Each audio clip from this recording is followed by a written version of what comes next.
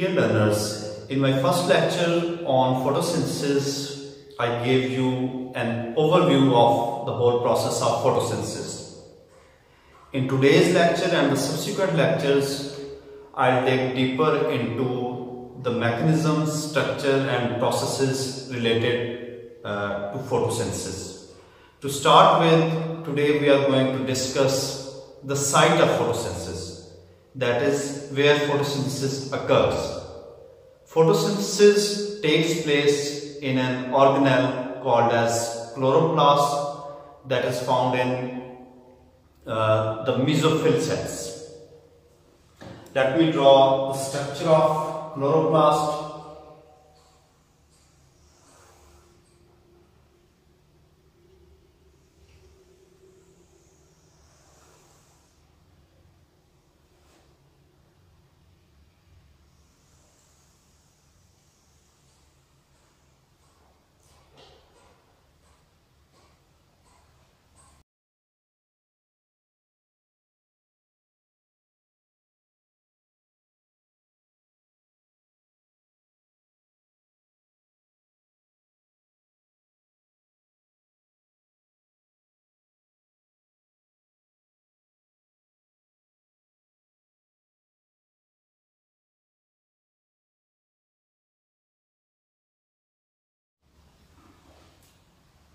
According to an endosymbiotic theories, the chloroplasts uh, were originally prokaryotes.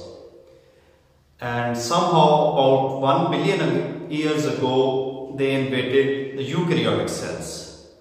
Uh, this is evident from a circular form of DNA that is found in chloroplast and that is also uh, found in prokaryotes today.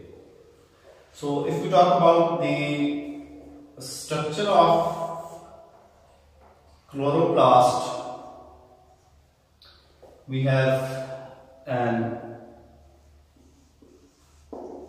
outer membrane, then there is an inner membrane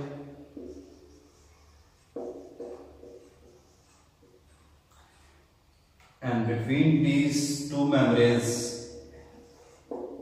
is space called as intermembrane space.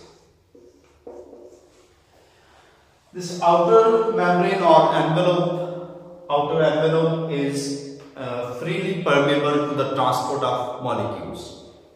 Whereas this inner membrane is only selectively permeable to the uh, transport of molecules like sugars.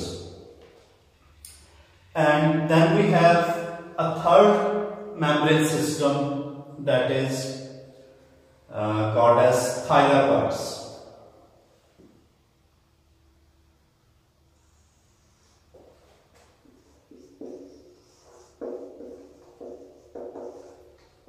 Thylakoids. Thylakoid literally means little sacs. So this is the most striking feature of the structure of chloroplast. Outside this thylakoid is an aqueous medium called as stroma. As I said that thylakoid is the most striking uh, feature of the structure of chloroplast. It is an uh, elaborately folded system of photosynthetic membranes. These uh, little flattened vesicles house uh, protein complexes for light driven reactions and uh, for energy transduction. So thylakoids are the site of light reaction whereas stroma is the site of dark reaction or carbon reaction. Stroma contains water soluble enzymes uh, which play their role uh, in dark reaction or carbon reaction.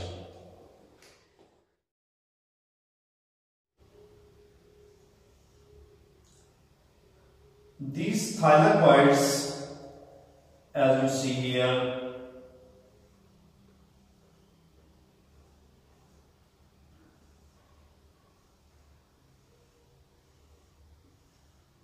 can be further divided into uh, two domains. One is the stacked region. Here you see the stacked region that is called as grana. Its plural is grana. And here you see the uh, region that is called as stroma lamellae. So these are grana and uh, which are interconnected, the stacks of grana are interconnected by non-appressed uh, regions in which stacking is absent. absent. That is called as stroma lamellae. So these thylakoids uh, have protein complexes uh, for light driven reaction. There are four uh, transmembrane proteins and two mobile carriers. The inside space of these uh, thylakoids is called as lumen. So this is called as lumen. Uh, this is a highly important region uh, because on this side the oxygen evolving complex is located which uh, breaks down water into electrons, proton and oxygen. Moreover, this lumen is impermeable to uh, protons, so it does not allow the escape of protons by itself. Uh, due to this property, the, there is an accumulation of protons uh, which can uh, be moved to the stromal side only with the help of uh, another complex called as ATP synthase which allows the synthesis of ATP.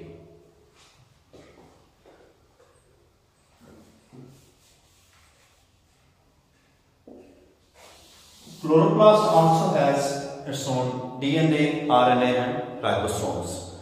So thylakoids membrane if I draw here simply this is the thylakoid membrane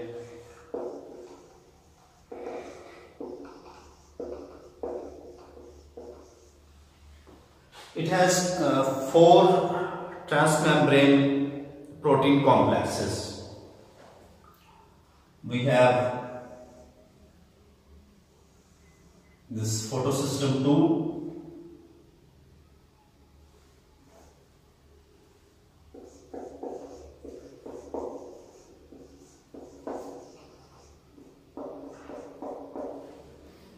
then we have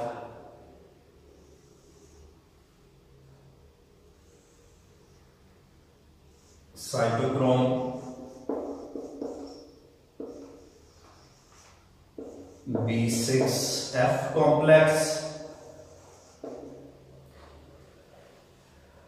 And then we have photosystem 1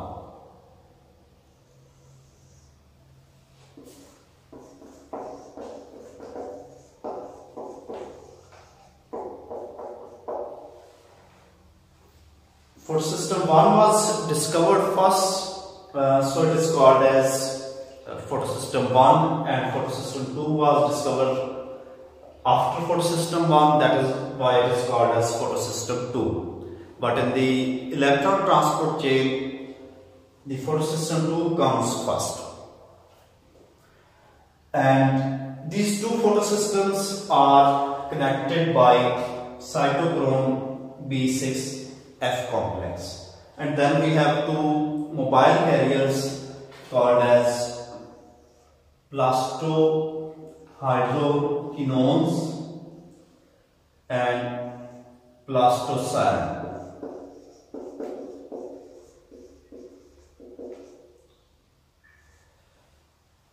Which, which are electron carriers, they are mobile so they can move between these complexes.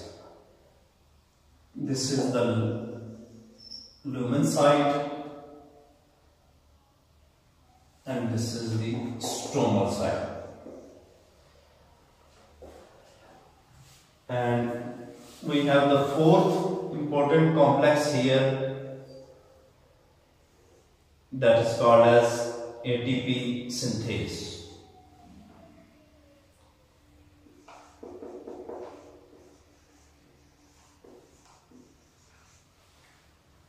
This ATP synthase allows uh, the synthesis of ATP under a proton motive force or under a concentration gradient of uh, protons.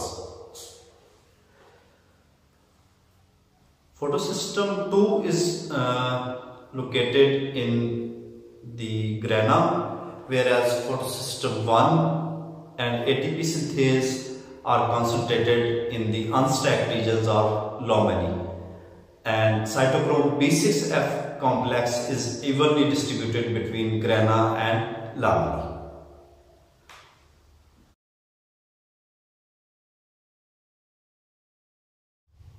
During the process of photosynthesis, the energy from sunlight is converted first to electrical energy.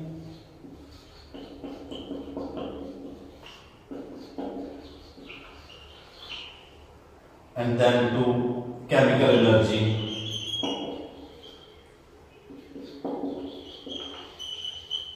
that is stored in organic molecules ATP and NADPH. Then using that chemical energy we reduce carbon dioxide to sugars. So ultimately the energy from sunlight is stored in chemical bonds of sugar molecules. And the key to understanding the electron transport chain in the process of photosynthesis is the presence of two large multimolecular protein pigment complexes called as photosystem.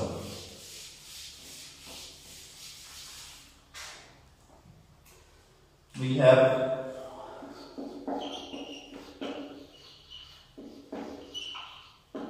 two photosystems called as photosystem 1 and photosystem 2. These two photosystems are interconnected by small proteins called as cytochromes. Cytochromes are intrinsic uh, membrane proteins which are embedded in the thylakoids and they cannot uh, be removed from the thylakoids without destroying them. Uh, they contain a cofactor heme which holds an iron atom. So this iron atoms uh, cycles between oxidation states plus 2 and plus 3 and can serve as uh, electron carrier in this electron transport chain from photosystem 2 to photosystem 1. The other electron carriers are plastoquinones and plastocyanin. These are, uh, unlike cytochrome, these are uh, relatively mobile. Plastoquinone, when it receives an electron, is converted into PQH2 and moves to cytochrome B6F complex, where it is oxidized, uh, donating its electron to cytochrome B6F complex and during this process uh, it also moves hydro uh, protons from uh, stroma to the lumen side. Plastocyanin is a small protein uh, which contains copper atom. This copper atom can hold electrons. So this is also uh, a mobile carrier which can move over short distances and it takes electrons from cytochrome B6F complex and delivers to photosystem 1.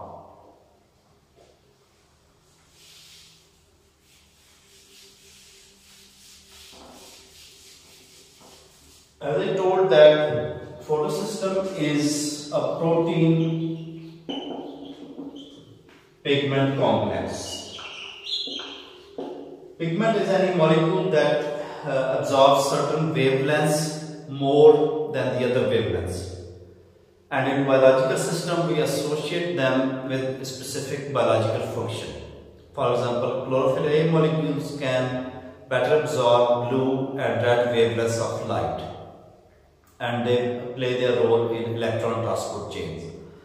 Other pigments uh, impart specific color to certain plant parts like petals uh, uh, which helps in attracting pollinators or to avoid predators.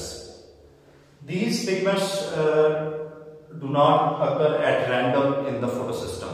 They are held by specific, uh, they are held in place by proteins called as light harvesting complex proteins. These light harvesting complex proteins are also embedded in the thylakoid membranes.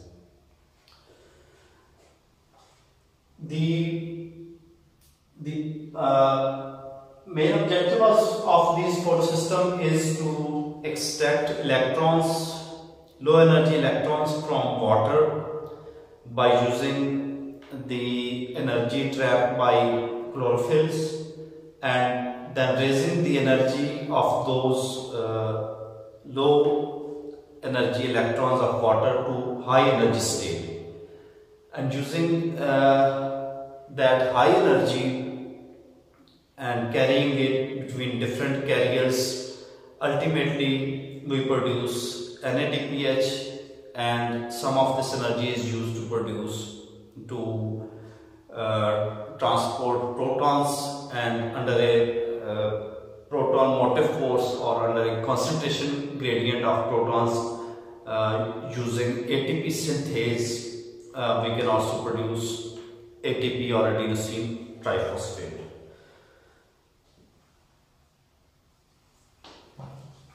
the photosystem, the entire set of 300 chlorophylls, carotenoids and proteins is called as antenna complex.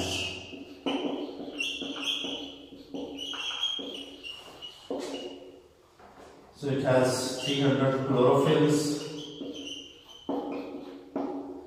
carotenoids which are accessory pigments and proteins. This antenna complex was more or less like an antenna absorbing uh, light energy from sun and then passing it to another structure called as reaction center.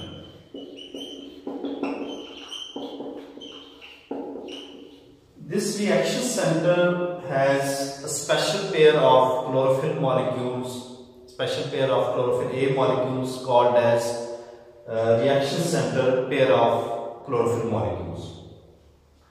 These are called special pairs or special because only uh, that pair can donate electrons required for converting light energy into electrical energy uh, during the process of light reaction or during electron transport chain. Let's now differentiate the two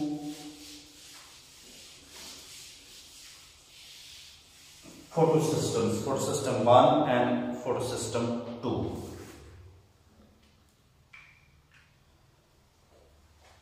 The bulk of chlorophyll in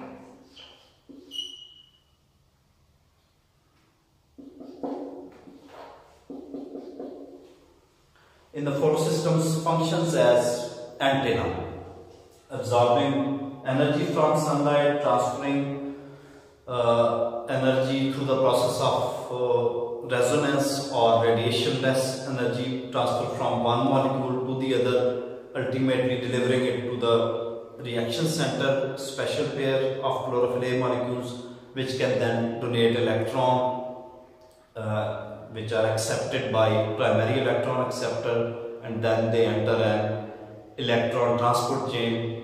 Through various carriers they are delivered first to photosystem 1 and which can uh, reduce NADP to NADPH.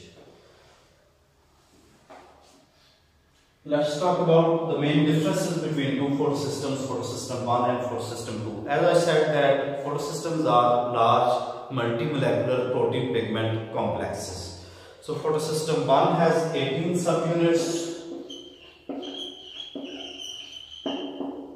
and photosystem 2 has 31 individual subunits.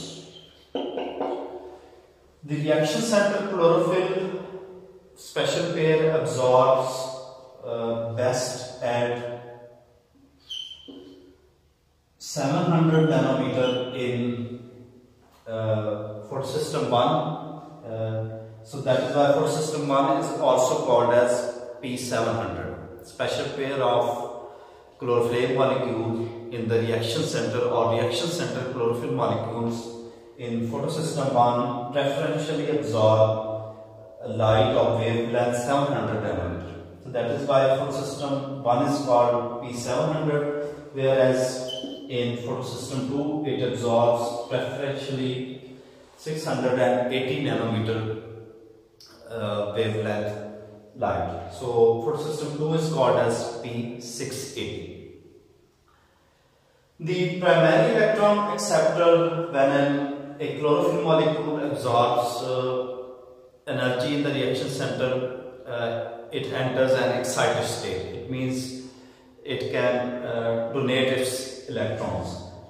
And then when it has donated its uh, electron, they are accepted by a primary electron acceptor which is pheophytin in case of photosystem 2 and A naught which is another type of chlorophyll in photosystem 1. pheophytin uh, is uh, similar to chlorophyll except that it lacks magnesium atom instead of magnesium it has two hydrogens. And uh, when photosystem 2 has donated its electrons to the primary electron acceptor pheophytin then now it is hungry for electron. It is deficient in electrons. So where does it replenish its electrons from?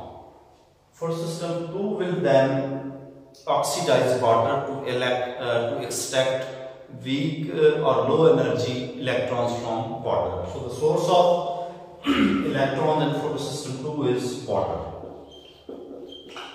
Whereas the source of electron in photosystem 1 is photosystem 2 because these electrons which are first accepted by Q phyton ultimately reach photosystem 1 uh, through the electron uh, transport carriers like uh, plastoquinone, cytochrome B6 F complex and plastocyan. Photosystem 1 has uh, less chlorophyll B, so chlorophyll A to B ratio is 4 over 1 whereas in photosystem 2 it has relatively high levels of chlorophyll B and chlorophyll A to B ratio is 1.2. As we discussed before that photosystem 2 is uh, photosystem 2 and photosystem 1 are especially separated in the thylakoids. Photosystem 2 is located uh, on the side of granule thylakoids whereas photosystem 1 is located in stroma lamina. So this is all about the, the site of photosynthesis, the uh, ultrastructure of chloroplast, uh, light reaction takes place uh, in thylakoids uh, and I hope you will be able to understand that why dark reaction takes place in stroma and uh, you should also be able to understand the structure of photosystem, uh, the role of cytochromes uh, and mobile carriers, plastoquinones and plastocyanin and you should be able to differentiate between the two photosystems that is photosystem 2 and photosystem 1.